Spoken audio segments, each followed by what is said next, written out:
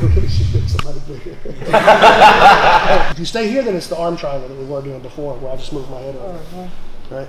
But you don't like that. Perfect. Down the body, and look how I turn in right here.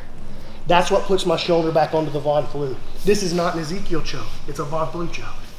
It looks like an Ezekiel choke. It's not an Ezekiel choke. There's nothing Ezekiel about it.